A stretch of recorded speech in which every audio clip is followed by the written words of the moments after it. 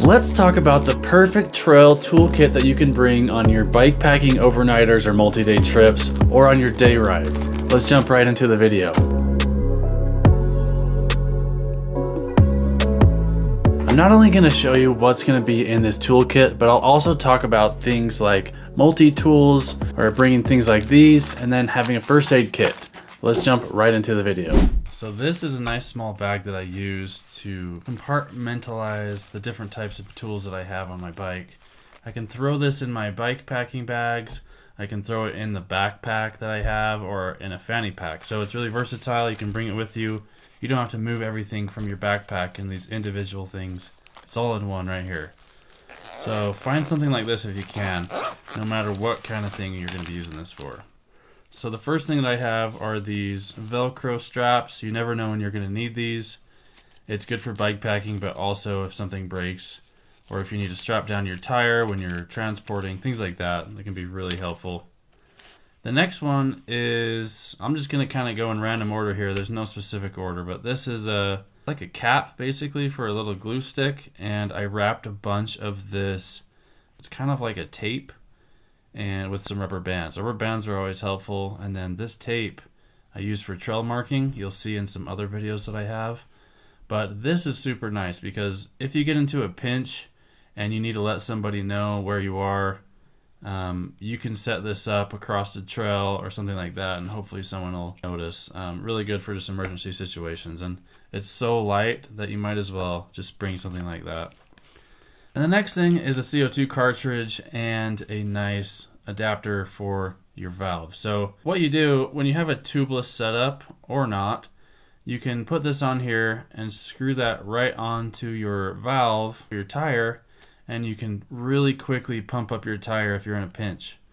The reason people use these over pumps, I would say, is mainly so that you can fix the tire if you have a tubeless setup and the bead falls off of the rim and you can't just use a pump to get it back sealed.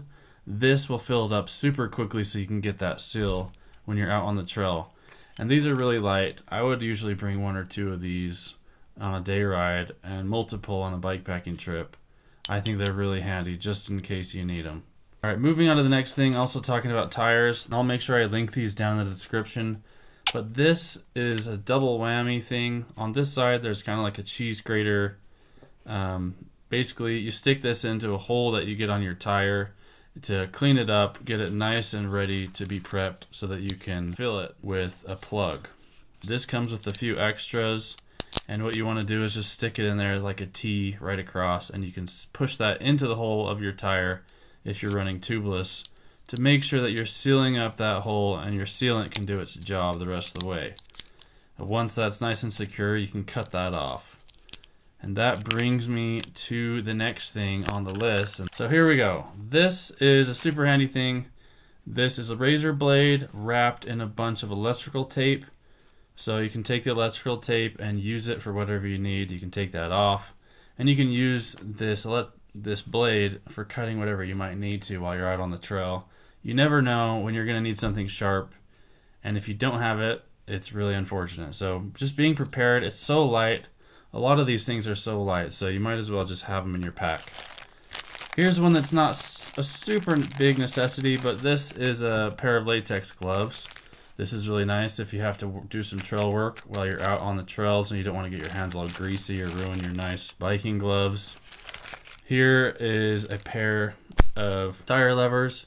These are nice because obviously you know what they do. Stick them in there to get the tire off the rim and to get them back on.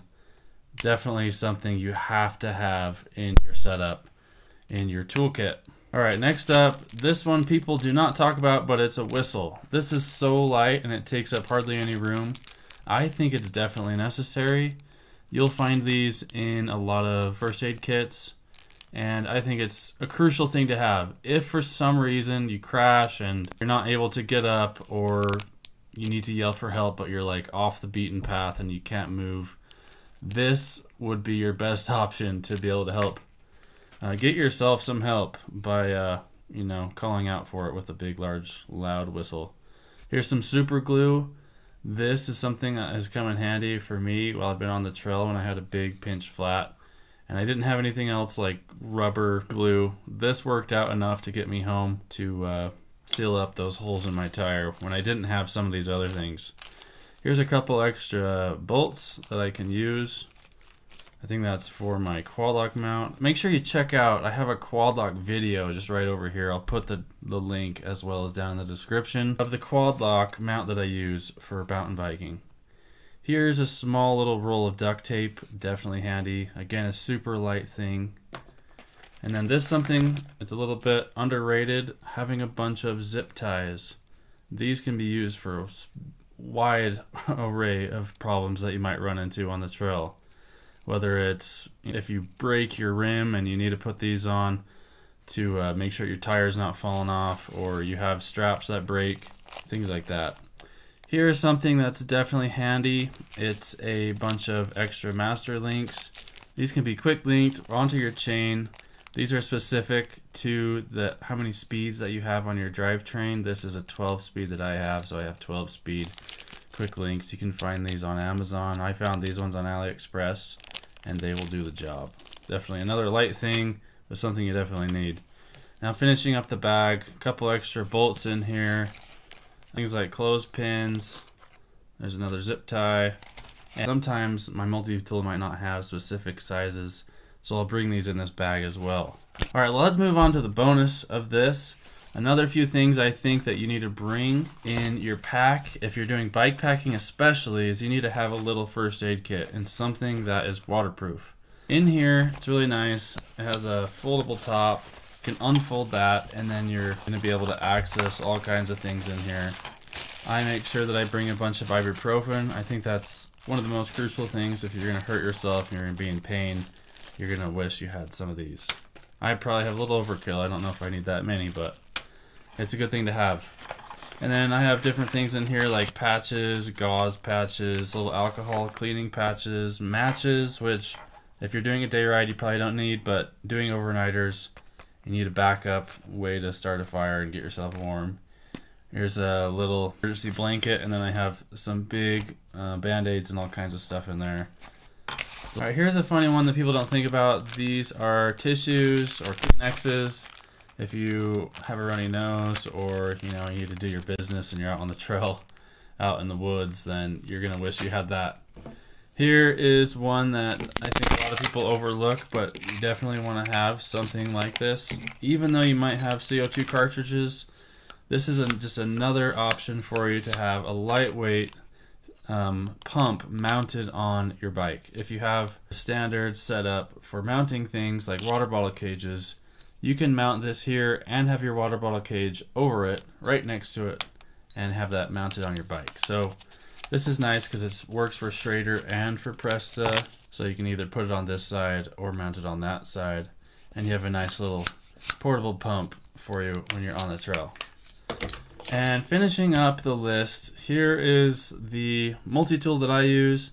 This one's just one from Walmart. I tried using another one, but it fell apart, so I just fell back to this one. I haven't got around buying another one, but whatever works. You just got to make sure that the multi-tool that you have has the sizes for your bike. At the end of the day, if you don't have the right Allen key hex sizes for the bolts on your bike, then what is the use for having this tool?